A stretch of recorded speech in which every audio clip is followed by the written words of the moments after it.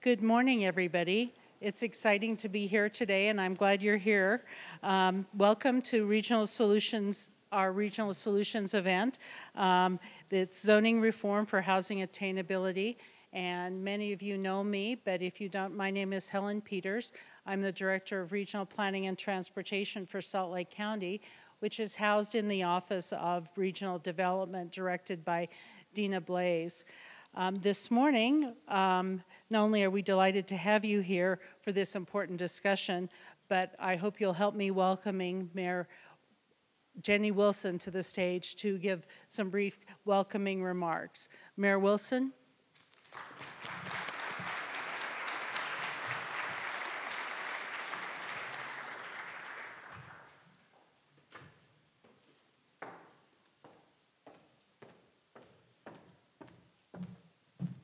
Thank you, Helen. Well, this particular conference um, has been something that I look forward to every year um, because I know the importance of this work.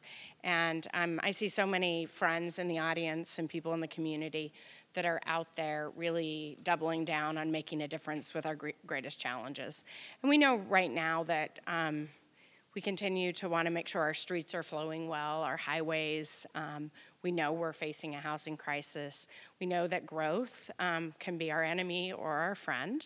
And each of you in this room has a role at really um, doing things in this community that sometimes our neighbors, our friends, don't really get, right? Because we take these things for granted. We take for granted the fact that we can live in a community where we can get up. I know that some of you live in Salt Lake County, many of you out of county, and still get here on time because the roads are flowing. And we live in a community um, up until now where we really have taken for granted, up until now, meaning, meaning a few years ago, that um, somebody who works hard, doubles down on their education, invests in um, good things will be able to own a home or at least a good apartment. And I'm telling you, when that is compromised, um, we're in a really, really tough time. So the work that is done in this room today, the lessons learned, the takeaways um, will be well applied, I know, by each of you in your various sectors. So this audience consists of planners, policymakers, affordable housing advocates, developers, academic, academia, media, others. Um, and I really do appreciate that wide spectrum of engagement here today. So we began um, this uh, series of events in 2018, and we are looking to inspire that collective action. And I want to thank um, the entire regional development team, Dina Blaes, who's here, her team, Helen. You all have done such a great job at being intentional and knowing what this audience wants to hear and pulling it together. Um, and I really believe I have two boys. I want to see, hopefully, my future grandkids, um, if that ever happens, um, have the same quality of life that I enjoyed in this community as a child. And um, I appreciate that uh, I lived in this community. I lived in this community for many years, and then just out of college, I'm like, I got to get out of Utah. I went to Washington D.C., had that great experience. Um, lived in the Boston area, but coming back to Utah it is a very special place and we i want my future grandkids to be able to have that accessibility to the fundamental um, components of life that i've already mentioned. And the, these again are the things you all are working on and, and sometimes um, again our friends and neighbors not be maybe as aware of the intentional work that goes into um, keeping us moving and doing a lot to address this housing afford- affordability um, challenge. So, um, this is a challenge that is bigger than any one of us, which is why these types of events are important. Um, addressing housing attainability, affordability um, impacts so many different sectors, and I'll tell you, we at Salt Lake County are committed uh, to figuring this out. Um, I'll tell you, when there's such a broad market force in an issue like this one, it's a little more challenging. Government interventions can be tricky. Um, we don't live in a state nor a nation where you really want to get into uh, a lot of um, tools that take away people's choice, right? And pass on the burden to someone else. So we have to be wise in the investments that are made, and we have to figure out how to bring our um, business partners, our developers, and builders to the table through that process. So um, I urge you to network here today, to have a chance to form some new partnerships. Um, find that person that might be a next step in your own progress in the work that you're doing. Um, together, we can transform this challenge. We can um, get beyond uh, the the what I believe. I, I hear the governor saying, you know, housing affordability is number one on his list. It is mine um, here at Salt Lake County, and um, the great work of this team and you all in working together to, to change the tra- trajectory, improve things um, so that my kids, hopefully their kids, your kids and grandkids, and our broader community um, really has a chance to succeed through home ownership. Thank you so much.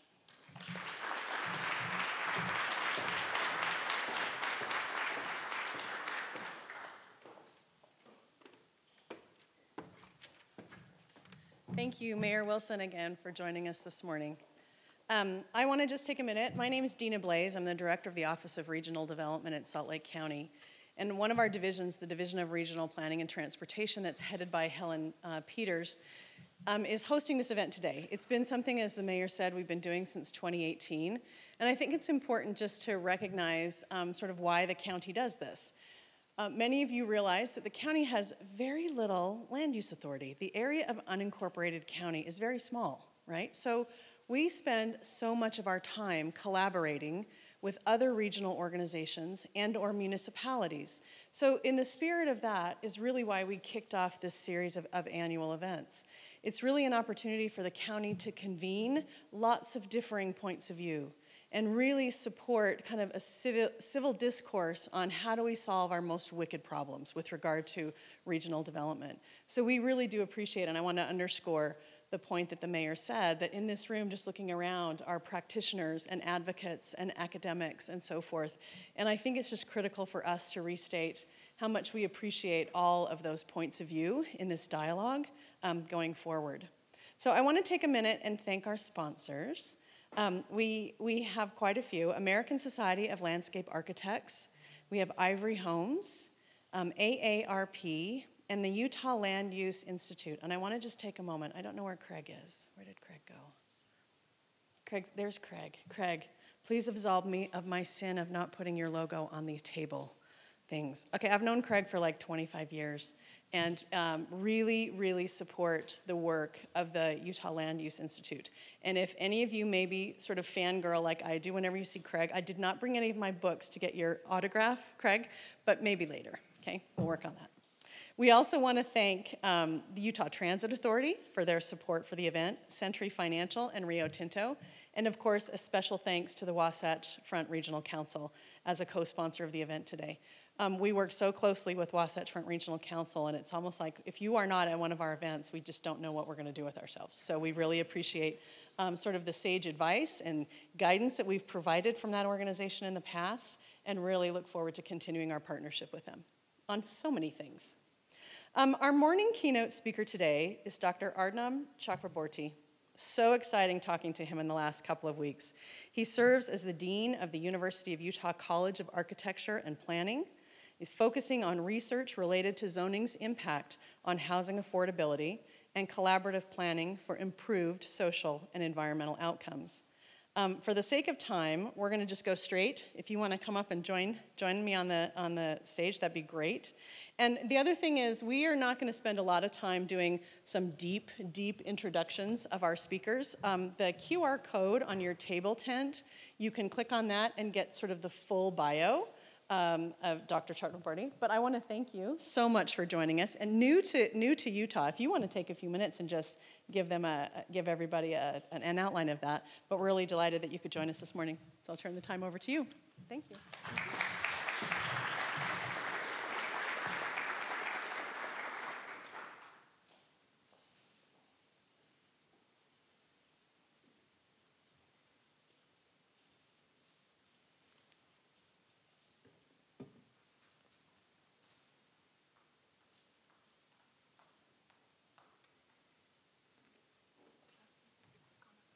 Yeah.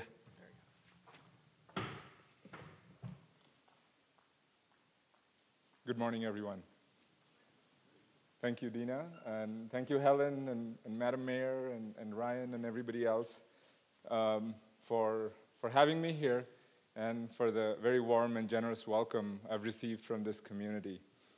Um, this is a great opportunity and, and, privilege for me to share some thoughts related to a very close area of research for me on which I've been working on a little over 20 years. Um, as Dina said, I moved to Utah recently uh, to take on the position of Professor of City and Metropolitan Planning and Dean of the College of Architecture and Planning at the University of Utah. Um, feel very fortunate and excited uh, to, to be here and in this role, of course, um, learning from many of the colleagues, students, and, and alums in the community uh, from, from the planning department and, and the college. Uh, but it's also been a great experience um, over the years learning about planning uh, in Utah and in Salt Lake City in particular, and over the last uh, four months or so that I've been here, uh, getting a firsthand uh, sort of exposure, first searching for a home, and then uh, making you know, some friends and, and, finding information about the community uh, around these things. Um, clearly, housing affordability is a huge challenge for, for the nation at this point, and, and particularly in this community. And I can tell you, as a, as a leader of a college, uh, it is a huge uh, responsibility to, to contribute to and participate in as we try to attract uh, best and the brightest of students, faculty, and staff uh, from this community, from this region, as well as from, from around the globe. Um, so I am not just excited to be in this community as the dean of the college, but also to do this, work with all the leaders and practitioners in the region uh, actively identify and work on solutions to the challenges that are facing our, our community. Uh, I have been asked to provide a bit of a context and perspective on the topic of zoning reform. Um, since I'm new to Utah, my presentation will uh, probably be more on the, the national trends in research and broader scale compared to uh, some of my fellow speakers and panelists here today. Um, and I also have the hour-long sort of teacher slot. Uh, and, I, and I plan to speak for a little over half of it, so get comfortable. I know you have access to coffee uh, and stuff. Um, and expect to hear a little bit of everything, actually, uh, from some definitional aspects of zoning reform, which many of you uh, might already be familiar with, um, to perhaps some new information. Uh, and don't worry, though, I won't show you any regression analysis. We talked about that last night. Uh, maybe, we'll see. Um, anyway, but uh, before I get into that formal part of the presentation, I just want to share a few more personal tidbits. Uh, a little over 20 years ago, uh, I was a doctoral student in, in urban planning and design, uh, interested in understanding why communities uh, across our nation find it so hard to coordinate on land use decisions. Um, I was reading through everything I could find on this topic, really. Uh, uh, from Judy Innes's work on, on land use as a tool for social control to Kenneth Jackson's work on crabgrass frontier and suburbanization of the, of the American landscape. Um, at that time, I came across uh, a somewhat new and yet somewhat seemingly a groundbreaking breaking effort uh, to coordinate regional decisions. Uh, and it was called Envision Utah. Uh, I wasn't familiar with Utah much at that time, to be honest. Uh, I'm originally from India. Uh, I was a few years into my graduate work uh, in the nation uh, here. But, but I felt that this work presented a very compelling idea for thinking about land use decisions, uh, both considering the broader spectrum of economic and environmental and social outcomes of land use, as well as proposing regional public-private partnership as a model uh, to address gaps in disaggregated uh, local decision making. And uh, this actually was more influential uh, both in my work and, and, a lot of other work I observed in the regional governance and, and analysis space uh, subsequently than I had realized at that time. Uh, some of my work, for example, included leading a number of regional visioning efforts called Reality Check with the ULI and Center for Smart Growth in Washington. And, and Chris uh, Nelson, who is here today as a speaker, was at Virginia Tech at that time, I believe, and, and we were collaborators on the Washington, D.C. Uh, piece of that ULI work. Uh, and we reconnected on that, actually, with some work with ULI Washington in a presentation a few years back. Um, I also subsequently pursued and followed scenario planning efforts across the region where Ted Knowlton and his colleagues' work at Wasatch Front has been visible and, and leading in that regard. So it's, it's really been a great privilege uh, to now be a part of this community where a lot of national ideas and work uh, have, have come out of. Uh, so that's been sort of the practice-oriented uh, dimension of, of my scholarly persona. On, on the more scholarly kind of that regression analysis side, I am fundamentally a land policy scholar who looks at the supply side, uh, impact of zoning, subdivision regulations, et cetera, and how these impact prices, uh, but not just prices, production, uh, mix, uh, social impact, opportunities, uh, and, and many other aspects of land use policy impact. And I tend to believe that to be, uh, to be successful, land policy should be looked at in the broader context of community outcomes. Uh, so um, when uh, I explore land use decisions, uh, I look at other things that land use decisions are affecting and are being affected by, including transportation choice, environmental outcomes, infrastructure efficiency, socioeconomic diversity, employment opportunities, and, and many other matters. And, and I will try to relate to some of these issues, the zoning reform conversations uh, that I'll address today. Um, I've worked on national studies looking at regulatory barriers to affordable housing, different models of land use regulations and state mandates from inclusionary zoning to planning unit developments to trans transit-oriented developments and such. And, and a little bit of work on risk management for communities around housing uh, and housing foreclosures. Um, overall, I would say I'm a real advocate of planning, and, and, it's really great to meet so many planners here in the room, as well as all of you who are not planners but work with planners on a daily basis. Um, so it's not just about zoning reform or zoning changes, but collectively, what can we create uh, or what can we do to create vibrant, uh, diverse, inclusive, prosperous communities in, in, communities where we live, as well as our uh, future generations, uh, we hope, will also reside, as, as Madam Mayor pointed out. Um, so when I say think of missing middle housing, uh, I definitely see the value of considering zoning changes for, for missing middle housing. Um, but I feel that it will be even more successful uh, when it's pursued with alignment with market needs, uh, existing and future community preferences, and, and other dimensions of planning, some of which I'll try to address. To me, some of the discussions that uh, we're having on zoning reform uh, to some extent actually is an advancement, to some extent perhaps even a repetition of, of discussions we've had be before around growth management, around smart growth, around new urbanism, new regionalism. Uh, but every generation of these conversations tend to take a, a different urgency, a, a different cultural uh, landscape, and a different sort of uh, needs of time. And, and in that regard, um, the conversations we're going to have today, I believe, uh, are, are, really at a unique moment in time. So, um, what I would like to address is first looking at why this is important from a national. Um, sorry, I'm just going to move my computer here slightly.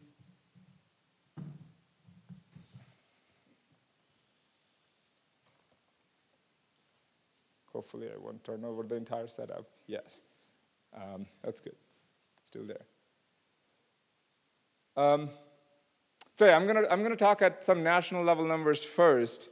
Uh, as many of you are probably already aware, there is urgency around the topic of housing crisis nationally, uh, as well as a strong momentum to respond which I think is reflected in, in our presence and, and work here today. Uh, while in the past, crises of this nature uh, have been more selective to specific areas, such as, say, the coastal communities, uh, this has become a national problem. Between 2021 and 2022, uh, 67 of the top 100 markets nationally experienced record high appreciation. I know some of that has gone down this year because of interest rates and such, uh, but it's still significantly higher than at any point in the past. Owner-occupied units hit 20% year-on-year increase nationally between 21 and 22. Rental units hit 12% nationally in many metros, I believe including SLC where it was closer to 20%. Um, and unlike in the past, um, these these situations do not indicate a bubble. uh, there are a number of sustained drivers that are worrisome. Uh, for example, our economy continues to be robust, uh, but we aren't building enough houses. And we can examine some of the reasons behind that uh, shortly, and I'm sure we will. For first-time homebuyers, there is huge competition from a lot of other segments, including global capital, all cash buyers, uh, VC firms that are these days identifying homes to buy using automated algorithms, institutional investors who are picking up single family homes for rental markets, small scale investors who are running Airbnbs. There's a lot of competition, and I've seen several articles recently that talk about how the idea of a starter home has essentially gotten kind of outmaneuvered by a number of other uh, phenomenons that are going on. Uh, there's, of course, the, the, the, landscape of geographic reshuffling uh, of remote workers, partly as a, as a long-running impact of, of pandemic. Um, so, you know, when someone looks at a, a, a, a local may not feel, may find a, housing price extraordinary, but someone moving, say, from Seattle or San Francisco may not find that price extraordinary, and that really creates a mismatch in the housing market.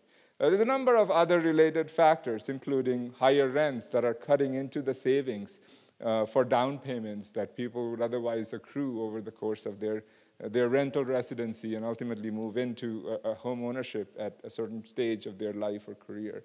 Um, demographic trends, including um, baby boomers living longer and living in their primary residence longer, thus reducing the supply for the next generation of uh, moving in home buyers. So there's a lot of phenomenon uh, that are involved here. It's not only zoning, but a lot of literature and increasing debate suggests that zoning constraints do play a role. Um, because zoning constraints ultimately limit, limit what you can build uh, and where you can build, uh, and, and limit development, especially in areas that already have infrastructure and accessibility to jobs, which some of the ideas under the broader umbrella of zoning reform are trying to address. Um, this figure, for example, here highlights that while in the past home ownership has been uh, tracking home prices, the most recent crisis, home ownership has fallen, even though the home prices uh, are at historic highs. Uh, so there's a clear uh, sort of mismatch there that's put in relief. So in short, the housing crisis is real. This is not just, there is just not enough homes to buy, and lots of folks who need to buy and want to buy but cannot uh, just due to the high prices, low supply, low mix, uh, and bad rates. Uh, and, and hopefully the rate situation is going to be addressed in the coming year or two. And this lack of affordable uh, and attainable housing is damaging to communities, nationally, but also here. Uh, there are studies that show that lack of housing for a range of a region's residents can affect uh, the region's GDP, uh, attractiveness for industries, attracting and retaining talented uh, workers from beyond, and even uh, local residents, supporting essential workers. Uh, and especially, uh, this is an especially big problem for communities uh, that are lower income, minority residents that are often facing displacement and dispossession. So there is a clear problem of home ownership mismatch and um, cost burden, especially on lower income renters and, and, and residents. So as a side note, actually, before I get into some data from, from Utah, uh, I worked about 10 years ago, uh, this was around the tail end of the foreclosure crisis, uh, on a project that showed another dimension of the risk of having low housing stock, uh, especially across a mix of spectrum. Um, we were looking at data of communities that were facing high foreclosure uh, rates and finding that uh, those communities uh, also had a lower mix of housing stock, were largely large lot, um, high, uh, large size homes, except for the apartment data. I mean, there's of course a lot of foreclosure in the lower income uh, price segment in the, in the, in the in the apartment and condo residents, but on the, on the owned front, we're finding that just the lack of affordable housing, we're basically pushing people into buying housing that were beyond their means. And back then, this was obviously supported by mortgages that were cooked up in all sorts of ways to allow it. Thank God we have moved back a little bit in that regard. But essentially, people were pushed into riskier mortgages in larger homes that they could afford, largely because they could not find other kinds of home that were better in their price spectrum. And as a result, when the triggering event happened, like a loss of job or an illness or a divorce, um, or their mortgage going underwater, those households were at an increased risk of foreclosure compared to those who were buying within their means, essentially middle income or upper middle income to upper income residents. So there's a, there's a lot of interconnected issues here, I think, that are relevant. But let's look at how some of these national trends um, are, are affecting Utah. I know other speakers will address this more squarely, and I'm probably going to get some of the things here wrong, and I would beg your patience if I do that. But I'm trying to make a little bit of a connection here. Um, but I, I, think there is a significant case that the national sort of situation is strongly reflected here. Uh, the Gardner Policy Institute, uh, where we have several colleagues, uh, has released several studies uh, over the last couple of years, I believe, that are encapsulated in this figure. It shows the transformational demographic shifts that are underway in this region. Um, this is promising in many regards. This is a prosperous, thriving, vibrant region, which is growing, it's attracting industries, has a tremendous quality of life, a lot of natural amenities. So a lot of good things are going here. Uh, but there is a risk. There's a risk uh, that is particularly important in terms of continuing to attract in migration that has supplanted natural births as the main driver of growth. Um, there's risk in our housing stock accommodating the diverse practices and purchasing power of a multicultural community. Uh, there's risk of creating communities that allow aging in place, especially given the trends of different age cohorts in this community. And overall, just retaining the quality of life in this region that I'm sure we all value dearly. Um, good folks at Gardner's have even made some uh, easy to understand graphics for us that characterizes the story, I think, even more simply and uh, to me, scarily. Um, the housing prices, congestion, uh, and the environmental quality are significant threats to the growth uh, and sustainability of the quality of life in this region. Uh, and like the national trends, there is already some evidence of damage uh, that some of these trends are doing locally uh, due to lack of affordable housing or attainable housing. Uh, this again borrows from the work of Gardner's, but also uh, Envision Utah, Workforce Services, and uh, Real Estate Consulting, uh, that, whose recent report shows significant deficits in rental inventories, especially for households who are 60% AMI or, or less, and very small amount of affordable homes in those price categories. And, and this is not just new homes. This includes uh, naturally occurring affordable housing and, and, homes that are passing from one set of owners to another. Um, some of the work captured in recently released draft of the Salt Lake City's anti-displacement strategy, uh, which I understand includes work done by some of my colleagues and erstwhile colleagues at, at, the University of Utah. It clearly shows that uh, while we're working on higher density development, um, we need to look at uh, you know, some of the redevelopment and risk of displacement that are associated with redevelopment. Um, and how do you sort of preserve naturally occurring affordable housing as places uh, redevelop, turnover, densify, is going to be an important question that we need to keep in mind as we think about uh, some of the zoning reform efforts.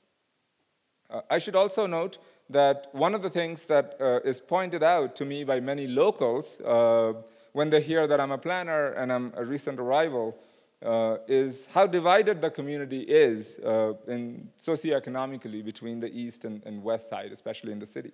Uh, and, and, as you know, zoning has historically been a tool for social exclusion. I don't know the specific uh, context of this community, but nationally there is evidence of zoning specifically uh, denying African Americans and other minority groups access mortgage and properties uh, in predominantly white neighborhoods. And even though many of those overt policies are no longer constitutional, we continue to see sort of the lasting effects of the legacy of those pol policies in the structure of our urban landscapes. And as we have an opportunity to rethink and even reset zoning, this is something I would encourage us to keep in front of our, our minds as, as, as, as an equity uh, centering approach uh, driving policy making. So um, that was, I'd admit, a, a, long background on urgency of responding to the housing crisis, especially through land use instruments. Uh, I know many of you are familiar with the subject of zoning reform, um, and other speakers will cover local examples, but I wanted to share a bit of a primer uh, on the matter, uh, on this topic. I'm a professor, bear with me, but I think it's also might helpful to kind of set us some, some baseline of, of what we are talking about here. Um, so, unfortunately, in, in some circles, zoning reform, I think, has become a bit of a contentious and scary term, um, often characterized by one of the two following things. Uh, to some, it sounds like state preemption. Uh, that could come in many forms, like standards to uh, policies that are carrots or sticks uh, with the goal of setting zoning and housing related expectations among local communities and municipalities. Uh, I would admit that it is true that these are forms of zoning reform, uh, but definitely not the only kind. In places where problems are especially acute uh, and localities have not attempted to address them seriously or consistently or sustainably, um, I think there is significant sort of, uh, you know, rationale to considering the idea of regional agencies or state agencies, sort of thinking about how they can facilitate and support this work. Um, but I think it's also important to think about other ways of pursuing this, especially under the local government structure. Um, so that's sort of one way to think about this that's, I think, pretty commonly um, understood, though may not be complete or totally accurate. And on the other hand, especially in academic circles, where I tend to lurk more frequently, um, some have called for abolishing single-family zoning. That's kind of how zoning reform is thought of. Single-family zoning has had a lot of problems. Let's just get rid of it. Um, these calls often critique, you know, some of the things I've already said, like disproportionate amount of land zoned in U.S. municipalities as R1. You've probably seen the maps that show 65% to someone even, somewhere even upward of 90% land in many large American cities are exclusively single-family zoned. And that essentially limits what you can do and where you can do it. And those areas are not often the areas that have accessibility, have uh, infrastructure capacity, have opportunities for future residents. So there is a clear mismatch that supports this idea of abolishing single family zoning. Um, there's, of course, the other side of it, which is also um, the role that some argue uh, and have found evidence of where zoning has created segregated communities with high variation in educational quality, uh, public services, uh, and job opportunities. So personally, I think these critiques are justified, but the idea of abolishing single-family zoning needs to be considered uh, with regard to specific markets, political environments, displacement concerns, trade-offs, and the need for additional planning. So I'll talk a little bit more about that later in the presentation. But I would say that in addition to these two things, there's a lot that's, I think, falls under the umbrella of zoning reform. Of course, in addition to abolishing single-family zoning, one could also reduce it, targeted areas uh, where these are pursued through upzoning, through specific uh, uh, alterations and such. So that's sort of, I would say, a broader characterization of of zoning specific changes in the context of zoning reform, but there's a whole lot of other areas.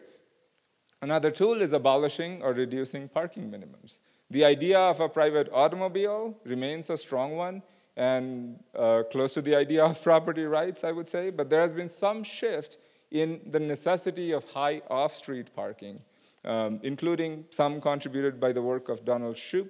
Um, so reducing parking requirement, I believe, has really opened up as a significant um, you know, opportunity to, to create a room for subdividing lots, uh, adding more units, and integrating with shared ridership and, and transit services and such. So that's another area that falls under zoning reform. Um, another one that you all, I believe, talked about last year is uh, the missing middle housing. I think it's part of the zoning reforms toolbox, allowing duplexes, triplexes, and more by right especially in areas with abundant infrastructure, uh, can be significantly beneficial to producing housing uh, and to, to addressing the need, especially areas that have accessibility. One of the concerns that I've found often cited in allowing missing middle apart, uh, such as apartment uh, is whether they will negatively impact the value of surrounding properties. This, I think, remains a fundamental challenge in the political space of pursuing many of the zoning reform related policies. Uh, I'd be honest, I have not seen a whole lot of clear evidence to support this fear, especially if the development is well designed and integrated within the urban landscape and, and with other planning efforts. I think you all discussed this in a lot of detail last year, and I, I viewed some of those conversations. Um, and indeed, locally, a 2021 study by the Gardner Institute that I found showed that apartments built between 2010 and 2018 uh, have not reduced single family home values uh, within half mile of those apartments in suburban Salt Lake County locations. I think that's encouraging when it comes to promoting uh, missing middle housing uh, in, in this community. And of course, um, there's ADUs. This is a part of this. Utah, I think, is a leader in this space. Uh, as I was looking for a home for my family, I came across a lot of places that have ADUs. Uh, yeah, this is a significant and I think highly welcome way for individual households to find affordable units. Um, and if you are the main homeowner, it's a way to kind of offset some of your uh, mortgage. But as we were talking about at dinner last night, I mean, there's a lot of additional pieces to it. The banking sector sort of kind of understanding how this works. How do you finance a structure in a property that's not your own?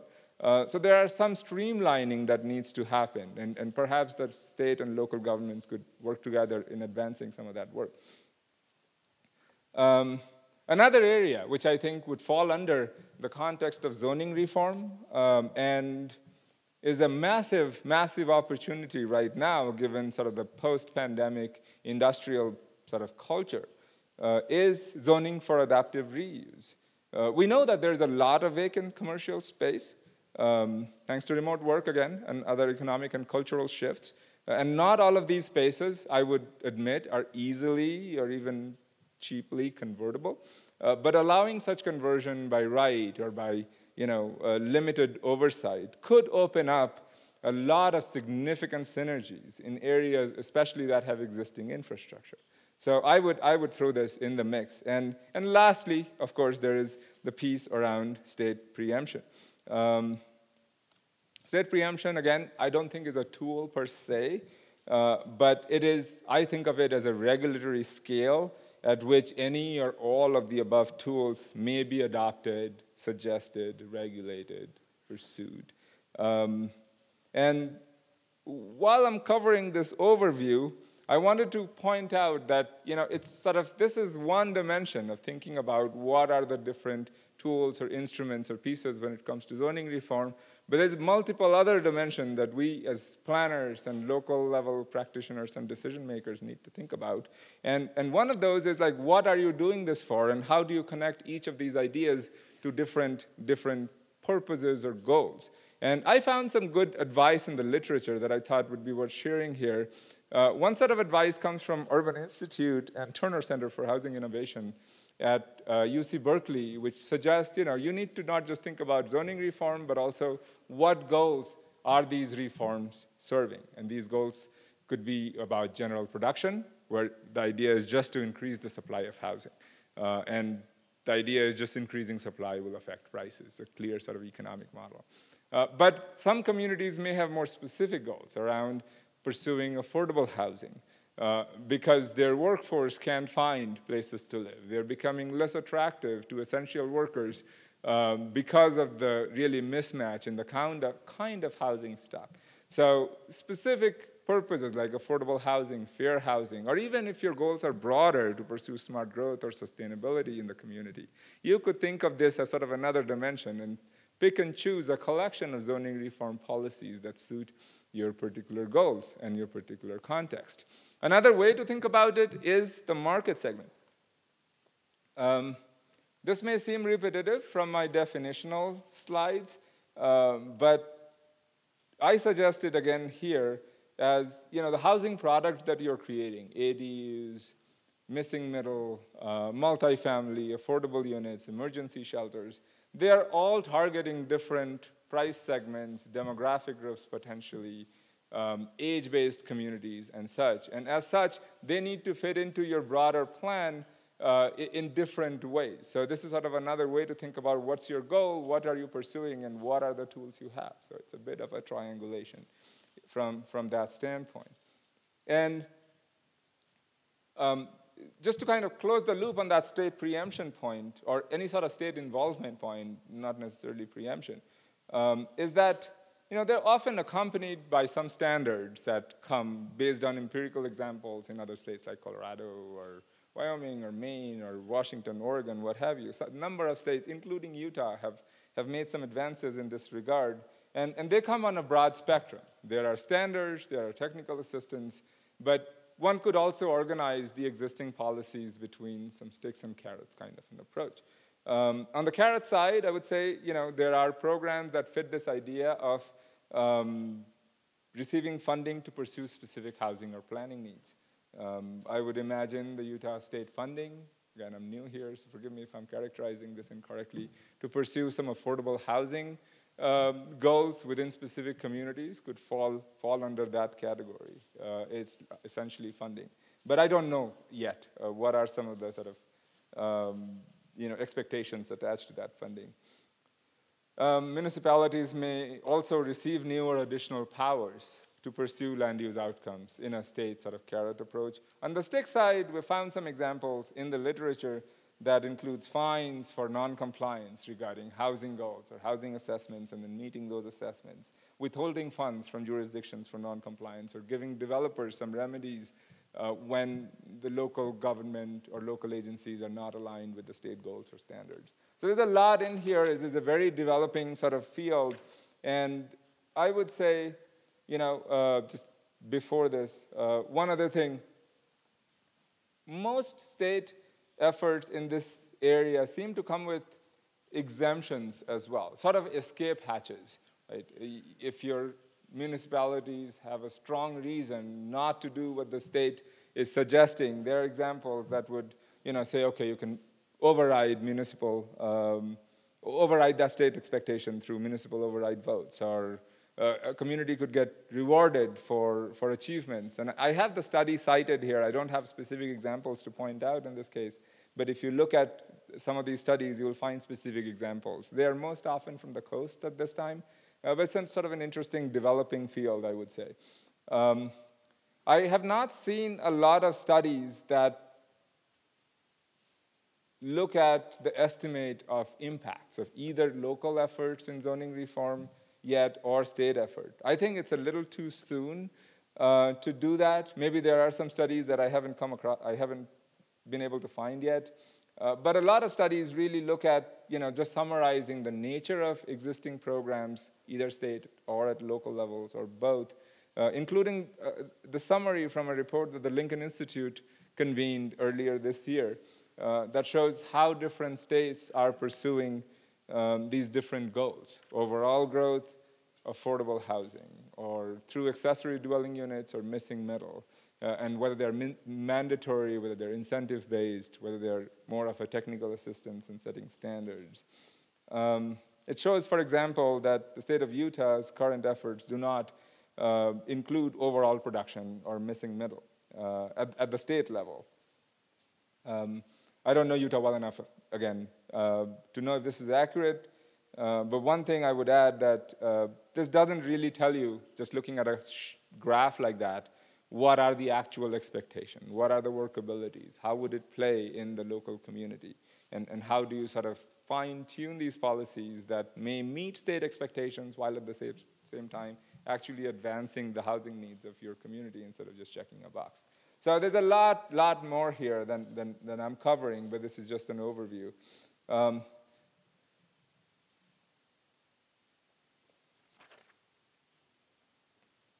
forgive me just a second. So I think um, this last set of slides I have here, let me just do a time check quickly. Um, I want to discuss a few questions that come up frequently um, in, in the research space related to zoning reform. And they are about the details of the programs themselves, how communities are developing it, how they are taking these through the political process, who's involved, what makes for a strong, um, achievable program versus what's might be more of a meeting the boxes of, of a higher level agency's expectations. Um, and then there's the set of questions that relate to, well, is this sufficient? Is this actually going to be enough to do uh, what's needed? Um, and, and I collected a bunch of questions in this regard that may be just sort of very partial and preliminary, but might be worth thinking about.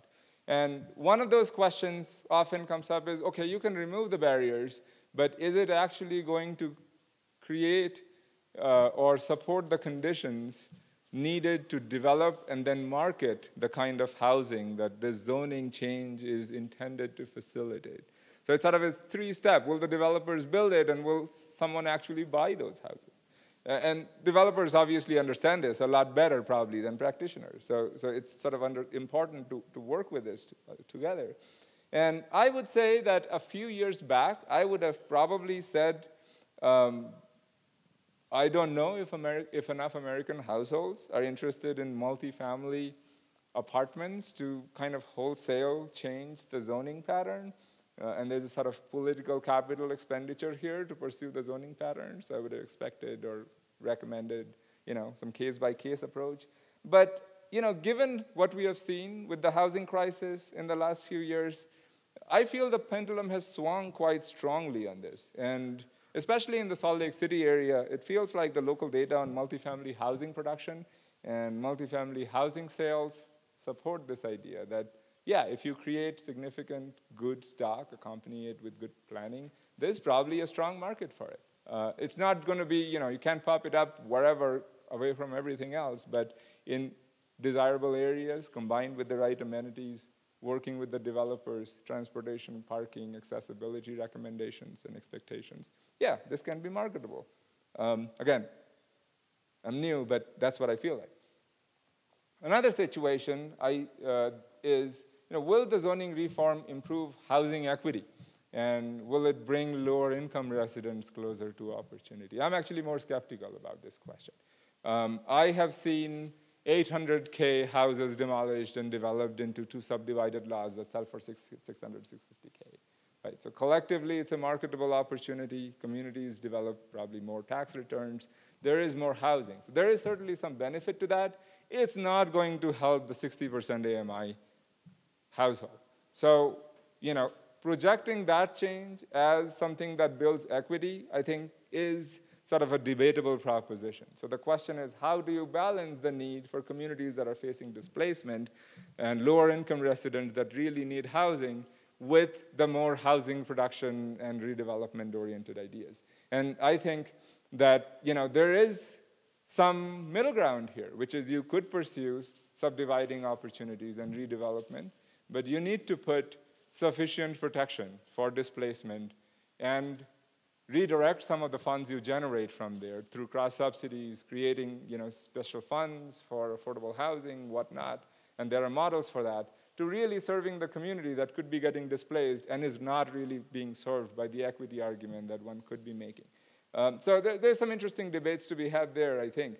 Uh, and another question that I've already discussed is whether this jurisdiction-wide change um, um, sorry, whether this zoning reform will actually impact existing property values. This is, of course, sort of uh, the first thing that often comes up in, in public meetings.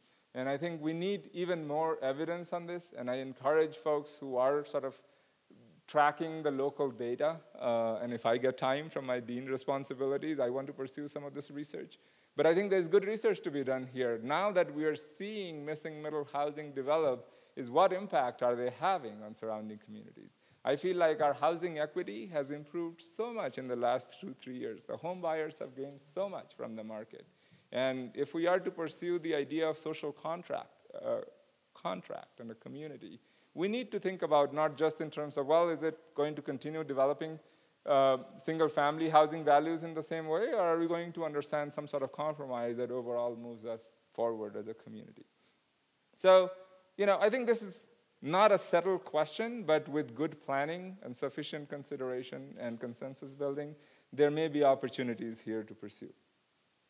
And one of the other questions that has come up, especially in the state role in this, is whether sort of allowing communities or forcing communities to make jurisdiction-wide change is a better strategy than TOD or piecemeal changes to zoning. And I'm not a legal expert, obviously, but I think this is an interesting question, right? Um, do you want some support to make this change of allowing you know, two units by right in single-family detached units and whether you want to do that on a case-by-case basis or a community-wide basis. And, and, state support to make it community-wide basis might be more legally defensible than doing it on a case-by-case basis. So that's kind of one of the interesting questions, I think, in the land use law space over here. So finally, um, I want to sort of make two comments that get at, well, how do you sort of take all of these structures and and, and ways to think about it, and some of the questions that are really urgent in this regard, and you know, come up with some recommendations. I don't have a lot of specific recommendations. I just wanted to raise some questions and encourage uh, some thinking and conversation. And I'm sure when other panelists speak more specifically about Utah, or when we have a panel discussion later, there will be opportunities for, for more specific recommendation. But in the broader space, I would, I would argue or, or suggest, you know, um, one could ask if zoning reform ideas are sufficient to address our housing crisis. And, and I think there are two sides to this, and we need to be very careful about how we address each of these sides. Uh, and I would say the first answer is no. Zoning reform itself is not sufficient to address the housing crisis.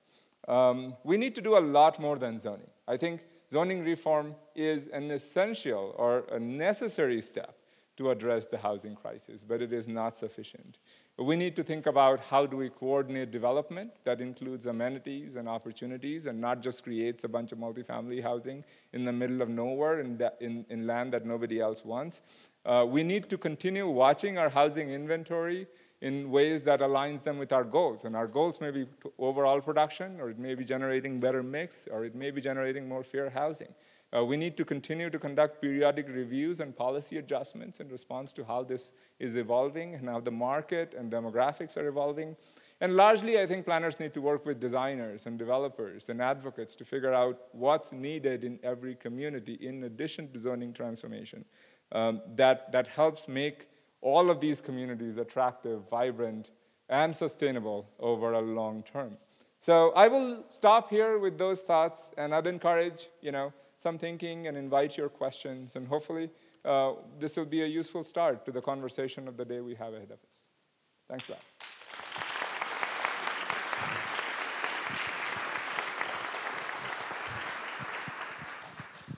Okay, now we have some time for Q&A, so we're we have two people roaming with um, mics at this time. So if you'd like to ask any questions, please raise your hand and we'll get the mic to you.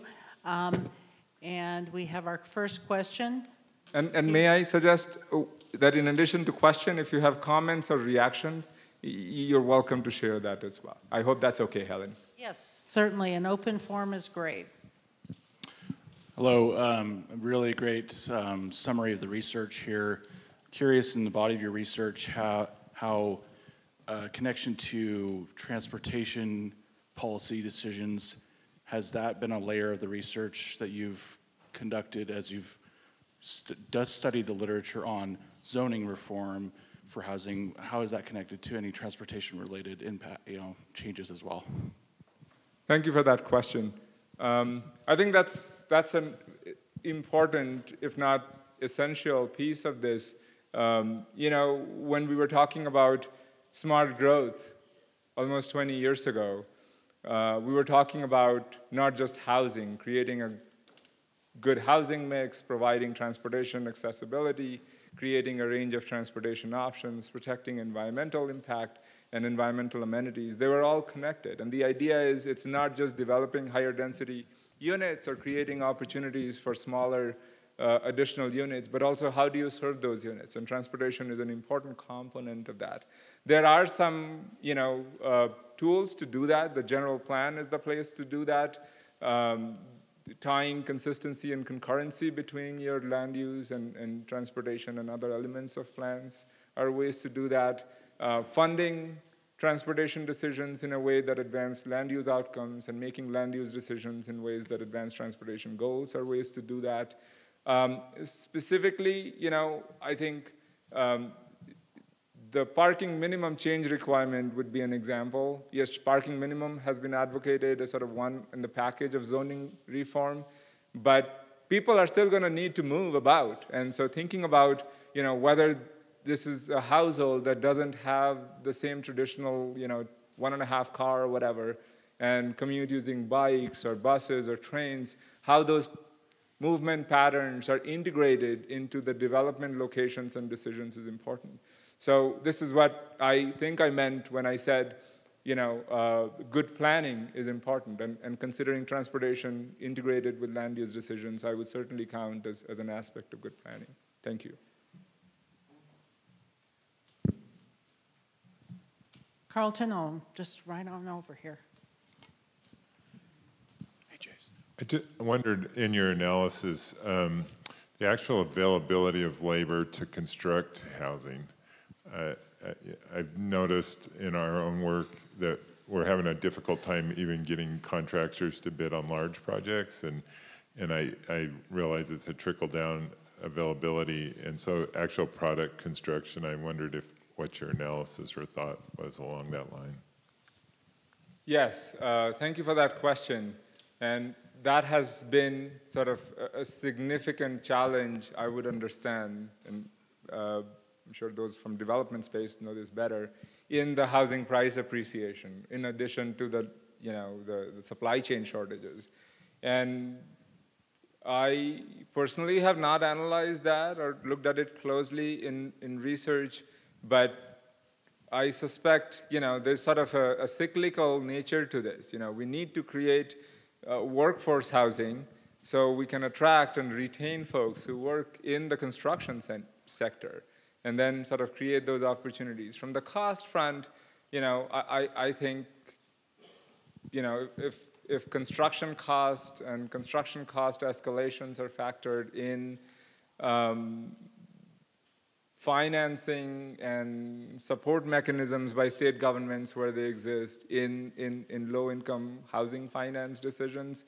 If that's a way to do that, that'd be another way to bring in the construction cost and labor uh, in the calculation. But this is an area I know very little about, uh, and I would be very keen on you know how those who are familiar with this sort of think this could be you know work collaboratively between planners and developers and how construction cost factors in, you know, development. The, the obvious, sorry, I'm kind of rambling here a little bit, but the obvious, uh, one other obvious area is this question of cross-subsidizing, which is you build housing of multiple kinds and you kind of, you know, generate the profit from one to serve the other in a way that helps you pursue a broader housing mix. So I'm Alan Ormsby with AARP. We've done a lot of work on missing middle housing.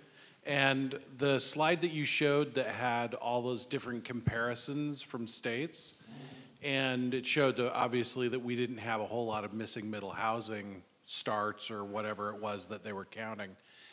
Do you think that is because of zoning problems that the missing middle housing, or are there other market factors that are keeping Utah from building, or I don't know if uh, you know re refixing or reconnecting uh, communities to have more missing middle housing? So um, I don't know specifically about Utah, but in general, I, I wouldn't, you know, blame zoning uh, for for as the only one for that. Uh, I've seen studies that show you know, even areas close to transit stations nationally um, have predominantly single-family zoning uh, and single-family development. And, and that, in part, is sort of a legacy of the way we have done zoning and kind of retrofitting the transit structure within that landscape and not changing the zoning to really, you know, capitalize on the value that's created in the land uh, because of those investments. And I think that's changing.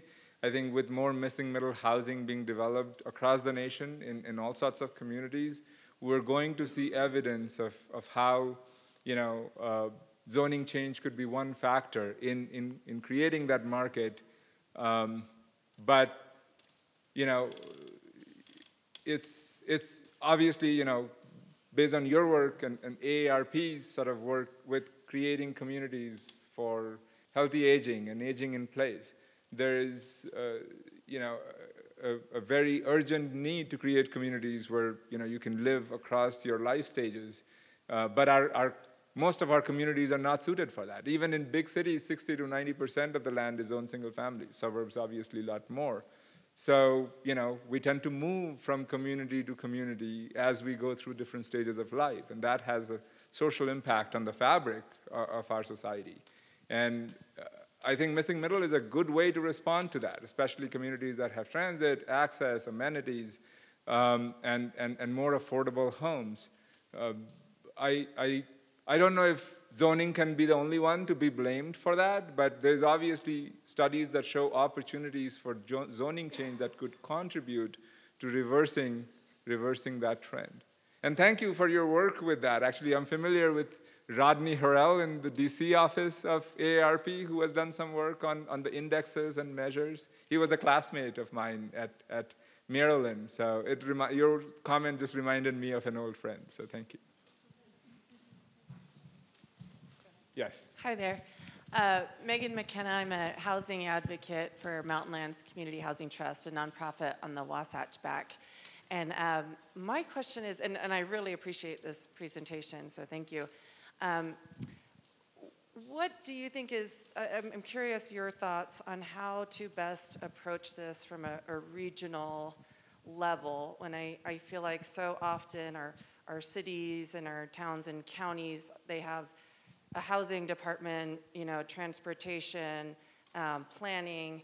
Uh, what, what support do you think is needed or, or what system that we don't have in place currently to better support you know, all of those working better together, but then also on a, a regional scale? That seems to be such a, a, large barrier. Yeah, great question. Thank you, Megan. Um, you know, we were talking about this just yesterday about how transportation decision making, which is a lot more uh, centralized and coordinated across a region, if not the whole state, uh, works differently than land use, where land use decisions that are connected to property rights tend to be seen differently, have a different history of how they are connected locally. But there's clearly, you know, the need for thinking about housing markets don't stop at municipal boundaries, and there's a lot of spillover and interconnections uh, both between and among municipalities as well as between domains like housing and transportation. Um, I've seen communities where regional agencies that were established largely as transportation planning agencies have over time developed strong housing aspects. Um, some of it comes from top down or more top down, um, you know, establishment or mandate. Some of it is more sort of a governance model where communities get together to think about regional um, shared interest. Uh, I, am sure organizations like Wasatch Front Regional Council or Envision Utah have tried to convene or maybe have been successful in convening those regional discourses. I'm, I'm not, unfortunately, uh, very familiar with the local area, but I would certainly, uh, I think there are great examples of thinking about this um, in a way that could even start with just understanding, you know, what the different interests are, how they affect one another, um, and what are the benefits versus costs or trade-offs of making uh, decisions that are more coordinated regionally versus not. Um, there are some communities where this is, you know, done through a hierarchy of plans, going from neighborhood to municipality to region to state levels. Uh, again, this is something I need to learn more about, how it's done in Utah. Uh, but I would, I would strongly support you know, the idea of thinking about housing needs regionally, thinking about fair share of housing for each community across different price segments, and thinking about how technical assistance, data, you know, uh, past studies could be coordinated across the different agencies, both horizontally and vertically. And I think you know, housing advocates and neighborhood advocates, transportation advocates, all have a strong role to coordinate and collaborate and contribute in this. Dr. Chirbo- uh, Chakraborty, thank you so much for your presentation. Uh, very much appreciate that. I'd, I'd like to ask you a question about the geography of zoning reform. So here in the Wasatch Front, the greater Wasatch Front, we have uh, a shared vision that we've all come together behind called the Wasatch Choice Vision, and that includes city and town centers, transit-oriented development. Now, where zoning reform occurs, it differs in terms of the political difficulty of making it occur. You know, it's going to vary, you know, one city to another, but also in different parts of the city. So I guess my question is, I'm trying to figure out an artful way of communicating it. But if you're if you're going to advise a local government representative about where the costs of the political costs, let's say, versus the benefits, the best locations that really maximize the advantage, is the recommendation, you know, try it everywhere, focus in particular locations? Where's the cost benefit advantage geographically? It's a great question. It's a hard one. Um, you know, um, conceptually, we can think of how coordinating this regionally in that choice, and then corridors and areas with specific, you know, additional infrastructure need, accessibility, could fit in to make it a more targeted kind of an approach. Uh, but as you, you know, say, the political feasibility and the feeling of urgency in different communities and, and where this fits within other priorities tend to kind of ultimately determine you know, where uh, the efforts of individual communities would go. Uh, I think there is, uh, there's probably, you know, there is some value in being kind of iterative and discursive about it. So as a regional agency, you could continue to push certain areas of priority and then create or facilitate, you know, opportunities for local agencies to think about how to bring those ideas into their higher priority items. Um, you know, I, I, think this is what I was referring to in part in that jurisdictional wide change versus TOD and some, you know, more incremental change. It's not exactly what you're talking about, but that is sort of another dimension of it. Do you want to adopt a, a city-wide change where you just go from single family to two to three unit by right, or do you just identify targeted areas? Uh, and, and, and that may be something you study at the regional scale. Um, I think, you know, there are, there is, there seems to be significant um, need for it um, to, to make the community more attractive and more sustainable, just generally. That was sort of the argument behind the housing crisis. And, you know, this is an opportunity for communities to build up their tax base, to, you know, to capitalize on areas with existing infrastructure, to make the political case for change through some studies that show that, you know, the, some of the fears may not be um, totally backed up by evidence. And if we do it correct, correctly and collectively, you know, the, the, the impact is, is not as what one might fear. Um, I'm kind of dancing around your question, I realize. Uh, but I think, you know, more directly, um, this is this is the nature of it. I mean, if, if there is no, I mean, one could say a more state level, you know, intervention advocate might say, this is some of the value of having state mandate. But that's, that, there's a problem to that, which is a one-size-fits-all rule that may not kind of apply to every community. And the communities might still find a way to get out of those mandates by checking boxes, and you're still left with a more fragmented landscape. So I think regional agencies have a lot of intermediate role to play here to facilitate and, and support communities. But there's also an opportunity to get ahead of you know, potential state mandates or expectation by showing that this is important to the community. Here is how to keep community priorities and, and interests in front of it while serving you know, the broader benefit of the region. So I think every, every player has a role to play in it. Yeah. Yes, um, this is Kathy Richardson from West Jordan, City of West Jordan. Um, let me see if I can state my question or my, my statement. um, affordable housing, even with these middle housing developments or um, apartments or um, other, you know, medium density housing, it's still very expensive. Um, so my question about providing housing for people um, is partly dependent on what's being developed, you know. However, it's just that people can't afford homes. Um, they, their, their jobs aren't, um, you know, high paying. The middle class to lower class, the incomes haven't risen hardly at all through the years. And if you did a study on that, it's probably even worse than ever. Yeah.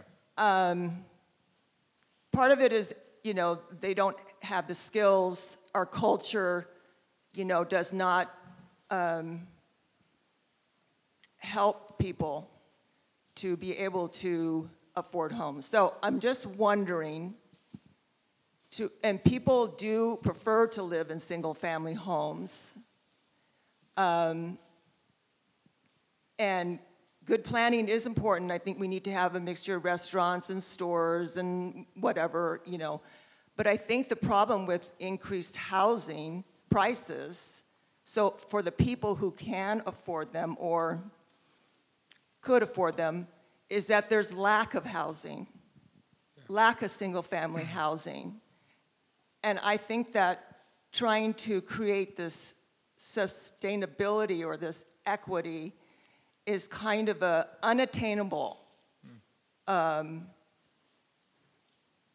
utopia, I guess, or it's and it and it um, it's not what people want.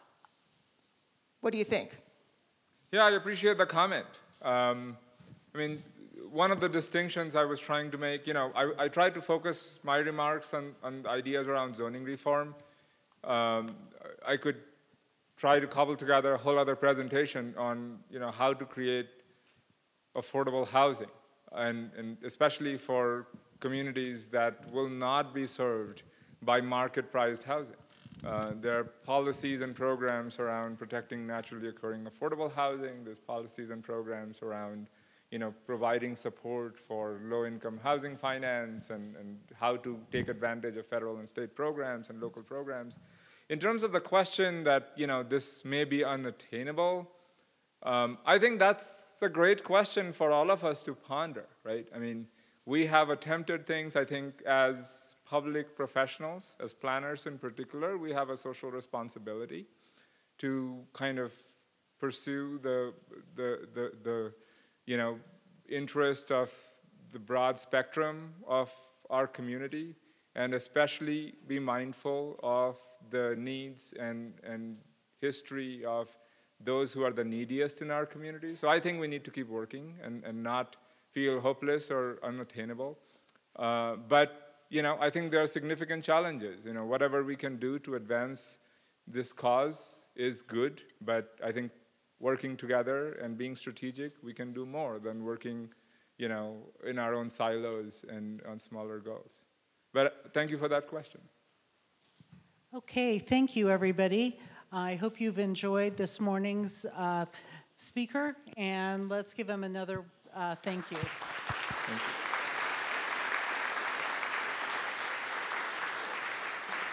One of the things that inspired me to try to convince my colleagues that let's take on a conversation about zoning reform here today at Regional Solutions is the fact that there's a new federal competitive grant program to help communities decide how they want to uh, be able to um, have more affordable housing, have greater choices. And uh, the program is called uh, Pathways to removing obstacles to housing program or pro housing and so i uh, there was just a deadline for this grant i don't know if anybody applied for that or not locally oh look we've got a city tell me who you're with State Office of Homeless Services. There we go. So thank you for doing that. Um, because what I'd like to do is to start to gather some people and start to have this discussion about how do we have housing that's more affordable and more choices in each community for a community priorities, with considering community priorities, because each one is very different. So, with that said, it's time for lunch. Um, it's just out in the hallway, buffet style. So please enjoy your lunch, and we'll start with our uh, morning uh, with our luncheon speaker, our keynote from the Atlantic, uh, Jerusalem Demsas. Thank you, everybody.